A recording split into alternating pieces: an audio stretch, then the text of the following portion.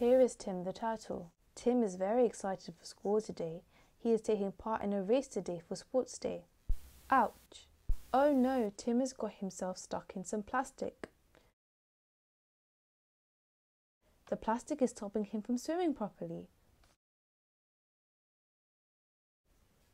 Unfortunately, plastic is a real problem which endangers marine life. Have you ever wondered where does the plastic in the ocean really go? It all starts with our litter.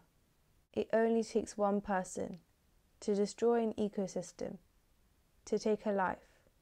Are you that person that litters? Or do you just stand by and watch?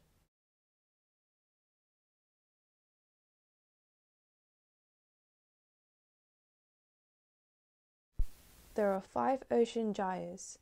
A hundred million sea mammals are killed each year from consuming plastic. Globally, 8 million metric tons of plastic enters the ocean per year. Approximately 1,500 plastic bottles are dumped in landfill and the oceans every second.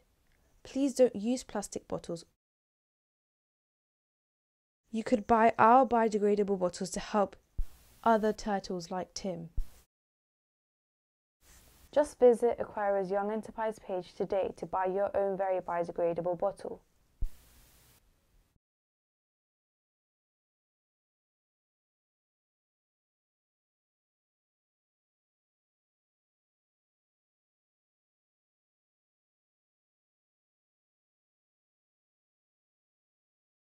Purchase now before we run out of stock.